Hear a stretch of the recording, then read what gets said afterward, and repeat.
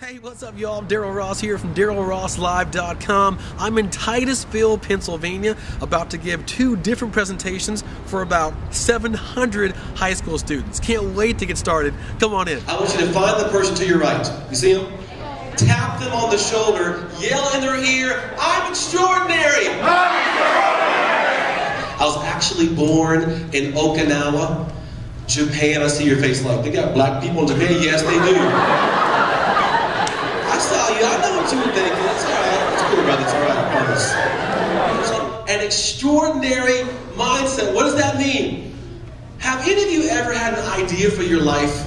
Maybe you wanted to audition for a play or musical here at Titusville. Maybe you wanted to uh, try out the baseball team or basketball team. Maybe you wanted to uh, write your own book or a magazine. You had a great idea, and what happened? You let you talk you out of it. Or that is great news.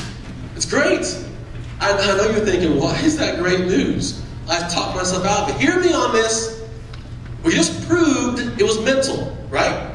And you can talk yourself out of it. Titusville, that has to mean you can talk yourself into it. It's all in the power of your mind. But they weren't trying to hurt me.